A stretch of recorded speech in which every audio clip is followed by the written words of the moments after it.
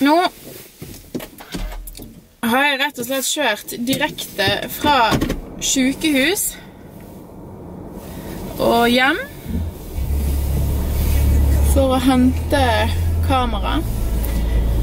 Eh, når jeg begynte å jakte, så kunne jeg rett og slett ingenting.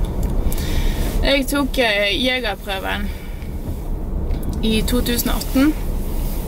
Eh, rett og slett fordi at eh, pappa og eh, Geir, som han heter, snakket så høyt og godt om jakt at jeg syntes det, det hørtes så sinnssykt spennende ut. Så derfor tok jeg rett og slett jegerprøven. Så Geir han ble ja, som en mentor for meg da, innenfor jakt. Så ble jeg kjent med Tom Nalum her i Stavern. En ufattelig kunnskapsrik mann med beina godt plantet på jorden. Og han har eh, de siste årene vært min eh, go-to eh, når jeg har spørsmål, eller det er noe jeg lurer på innenfor jakt. Så i dag føler jeg meg beæret og heldig, for nå skal vi ned til Tom Nallum og se på en elg som ble påkjørt de var på ettersøk i går og fikk avlivet elgen. Og i dag så skal han lære oss om hvordan vi behandler et Ja, hva skal man kalle det? Et, et skuddsår.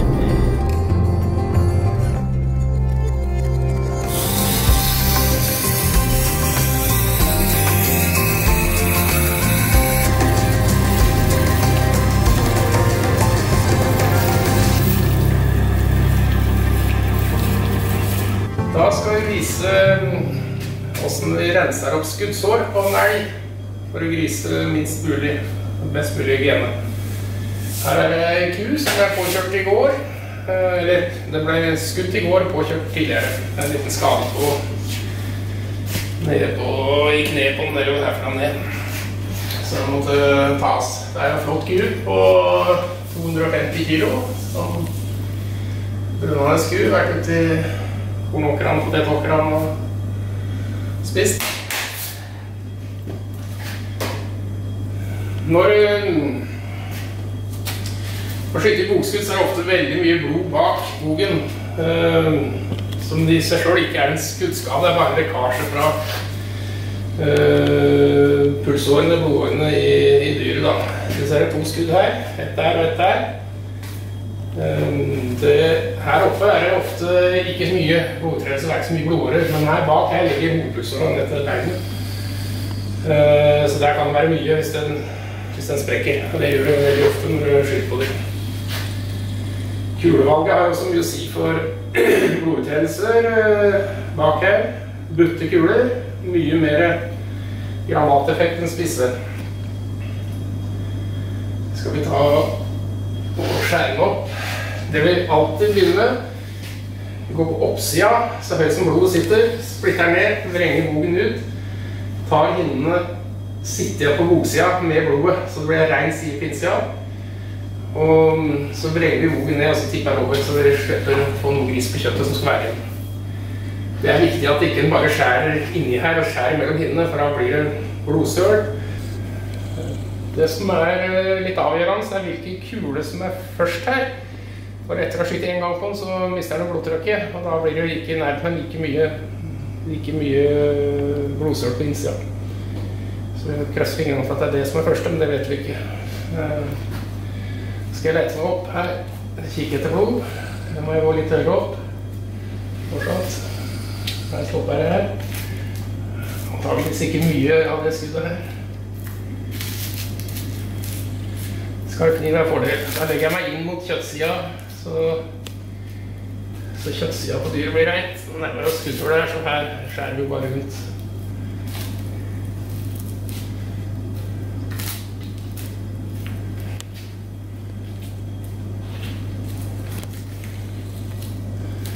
Litt inn for sånn smerter.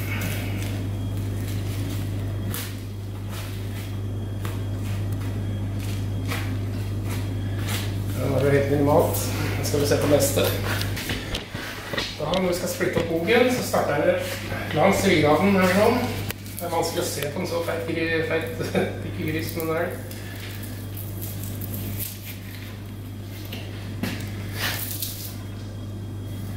Skal vi se.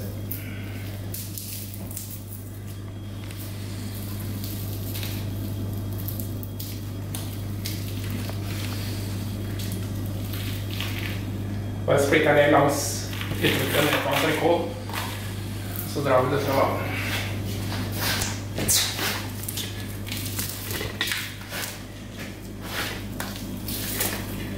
ser vi kommer det blod. Og vi litt høyere opp.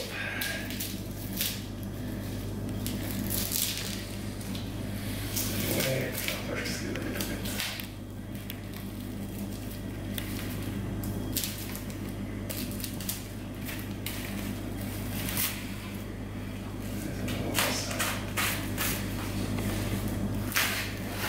Går vi nedover langs blodkanten.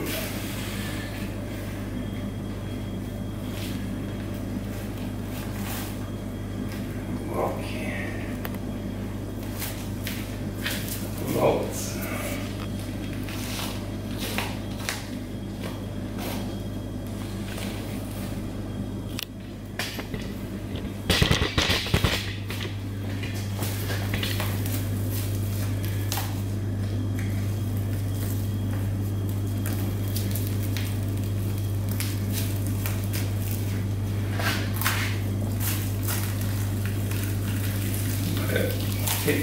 Borti med kniven, sånn at det ikke skjærer mellom hendene. Mal skarp kniv, veldig viktig. Så det har alt på boksida, at jeg skal vrenge den ned og ut. Hvis er mye blod, så renner beinet på bakken, ikke utover kjøttet.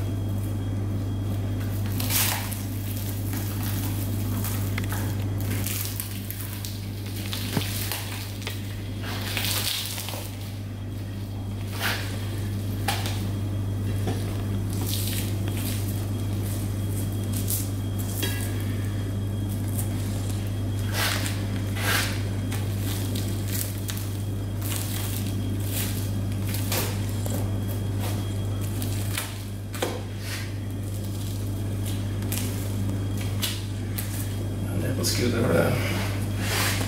Her inne er ganske svært hull. Se.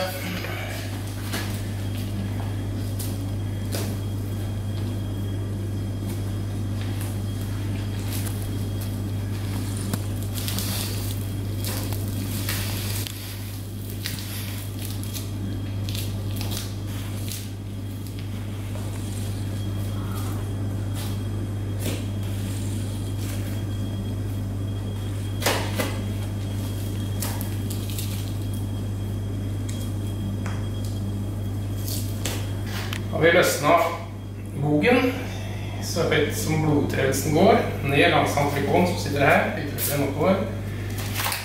Så skal vi brekke ut bogen, så all blod blir sittende på den, ikke på kjøttsiden.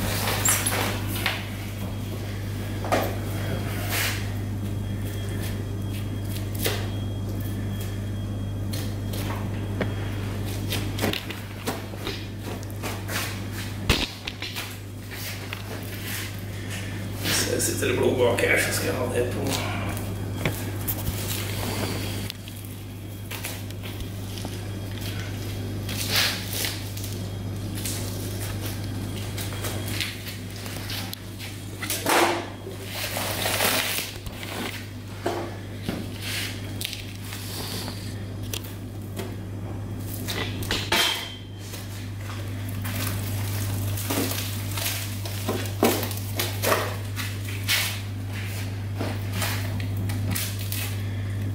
Så jeg setter all boksida. Nå kan jeg filere herfra og ut og dra med all skuddskadene over her og blod. Alt ut, mens blod ligger igjen inni hinnene.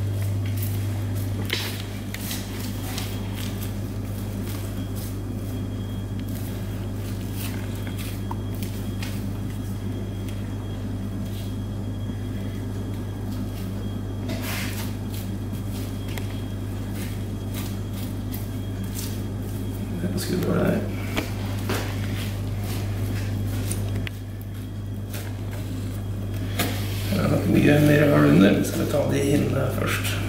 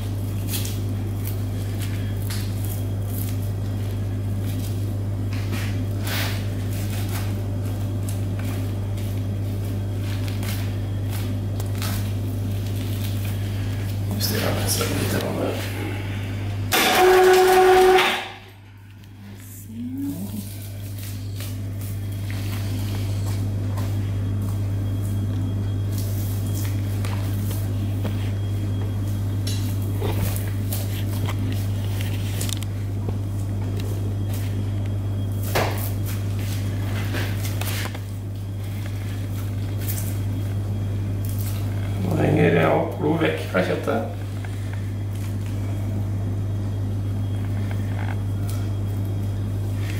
Kjøtt som ikke er grisa på, er mye, mye mer holdbart enn kjøtt som er tatt på med hendene og tilsatt bakterier.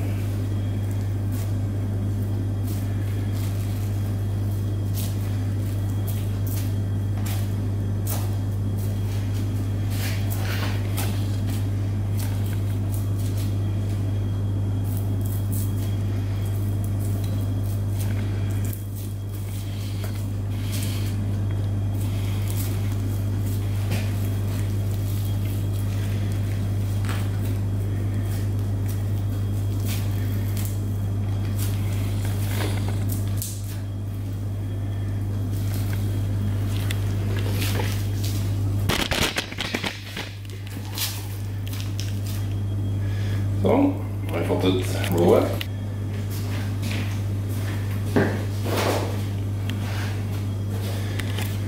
Innsida er litt uavhengig av kuletyper eller lekkasje fra anslaget. Trekker ut blod, og så klapper det sammen. Nå skal vi inn og se på den mekaniske skaden som kulen har forårsaka. Skjelve skuddhullet. Det er sånn skjære og rense rundt der. Den er eh, mer avhengig av kulefasong og ekspansjon enn det andre.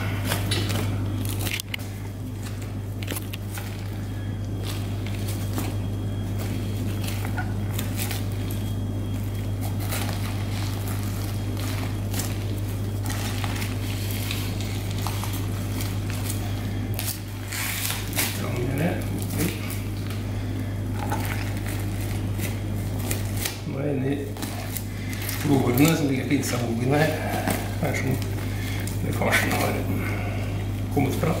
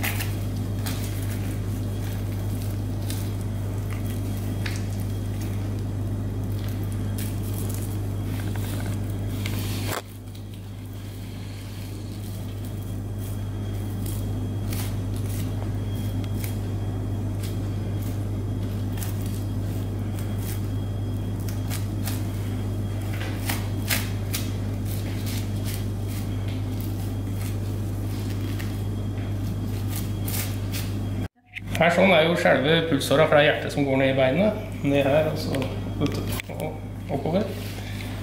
Skal vi ta og skjære ut selve skuddskaden. Der er det et hull imellom, så vi ser litt åssen det ser ut nedover.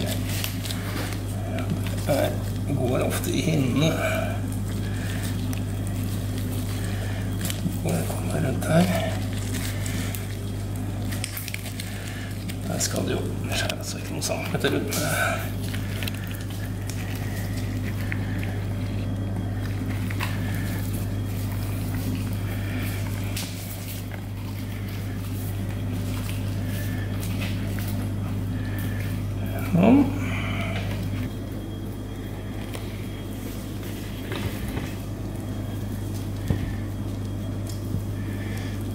Og fukt skal vekk. Sånn. Her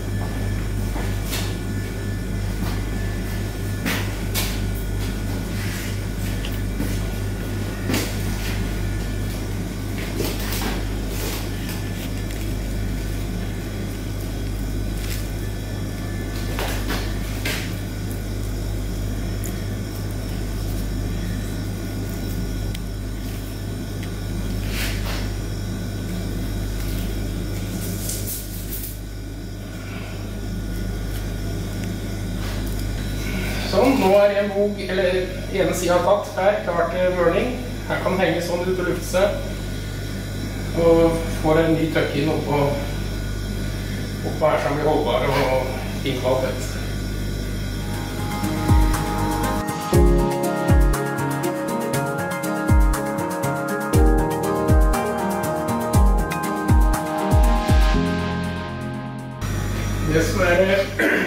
magiske når du skal rense opp uh, skuddskade på en elg, er å starte høyt nok over blodtredelsen, brekke ned, uh, skjære inn mot innen mot kjøttet, så alt kommer på moksida, brekke det ned, ut, filere videre ut, så alt renner ned på bakken, så ikke det blir masse gris oppi her og. Da henger den sånn god, luftig og, og fin. Rein kniv med alfa omega, så ikke det sprer bakterier utover hele kjøttet. At den er kokt før vi starter på sylsvær. Nå skal den henge sånn i et par uker.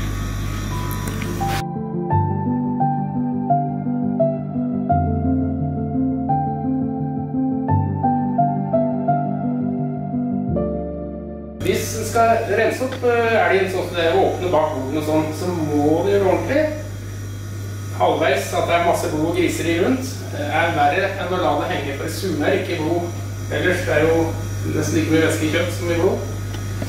Så det er veldig viktig at de gjør det ordentlig. Ellers er det bedre å la være, og så ta den under skjærer. Så ikke du får grisa masse eh, under, som blir med under henginga, modninga, så gror bakterien, og så blir det skjevt og ekkelt. Hjortekoll på 65 kg som henger til høyre. Bare for å visualisere hvor stor den elgen egentlig er. Elgkalv på 53 kilo på venstre side.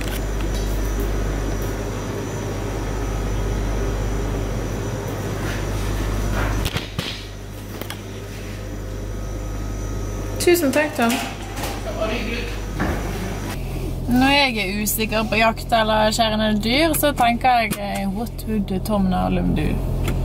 Det kunne blitt en egen hashtag. Eh, Jeg syns det er veldig kjekt å se eh, når Tom viser og demonstrerer eh, alt det som han forteller meg, sånn at det er lettere å praktisere det. Så nå er det rett fra filming med Tom Nalum, hive i seg middagen og så holde de to siste samlingene på et jegerprøvekurs. Det er altoppslukende, denne hobbyen her, men vi elsker det. macas